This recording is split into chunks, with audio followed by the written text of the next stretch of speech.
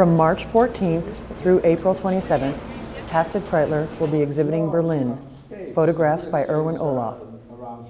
In 2011, I received in my home country, the Netherlands, the most important prize uh, for the arts, the state prize called the Johannes Vermeer Prize. I had to spend 70% of that on a project. I had already for years a project in my mind to go to Berlin, to leave the studio.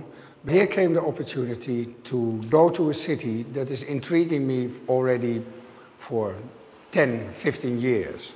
Because since the fall of the Berlin Wall, it's becoming more and more the center of the continent of Europe. My gut feeling says that we maybe are living in a new interbellum. I started to look at uh, the art and the photography of the interbellum period. So I looked at the surrealist painters, but also very important, the new objectivity painters, like you have uh, Otto Dix and George Grosz. And I'm a huge fan of uh, Otto Dix, and he inspires me already for now decades. So this time I could not uh, let it go without making a kind of homage towards his uh, work. So in this painting, you see uh, literally an, um, a quotation of his work, but then mirrored. Throughout my career, I photograph once in a while a self-portrait. Most of the time, I do it uh, because I see my free work as uh, writing your uh, diary and uh, also to fight my own demons. Since 1996, uh, I know that I've inherited uh, lung emphysema. Walking the stairs nowadays is quite a challenge, I will say so. Here I was, 40 locations, every time getting more and more exhausted. So when we were shooting in the Olympic Stadium, built for the Olympics in 1936, I thought, when I saw the Führertreppe, the stairs special created for Adolf Hitler, oh, what the heck, I'm going to walk those stairs and make a self-portrait.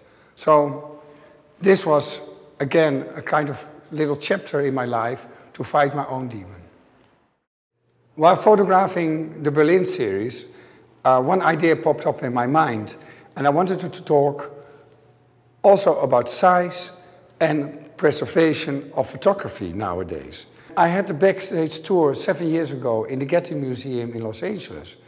And there I saw the most beautiful prints. And it turned out it were all carbon prints. And later in Amsterdam, I was confronted with this technique again. And while I was shooting on Berlin, I thought, I want to do something with this technique. Because this technique uses the poorest and the most cheap ingredients, but for the most excellent results. And the preservation of the pictures is wonderful. After 150 years, you still see the same details, the same amount of black in the pictures.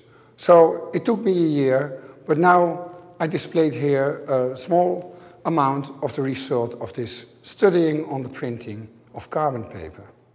View the works of Erwin Olaf at Hasted Kraeutler from March 14th through April 27th.